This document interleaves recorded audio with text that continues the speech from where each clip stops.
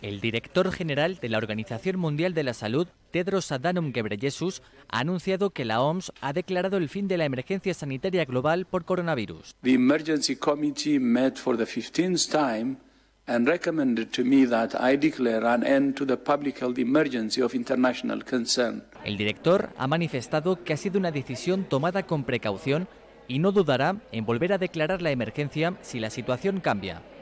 En marzo, Ghebreyesus aseguró que en algún momento de este año se acabará la pandemia del COVID-19 y, por tanto, la enfermedad ya no se consideraría como una emergencia de salud pública de interés internacional.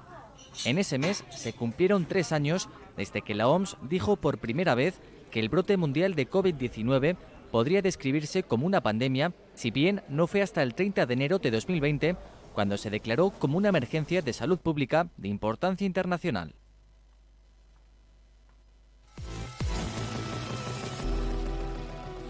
Muy bien, cambiamos de tema y ahora vamos.